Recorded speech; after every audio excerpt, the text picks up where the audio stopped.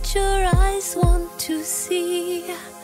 How can life be what you want it to be? You're frozen when your heart's not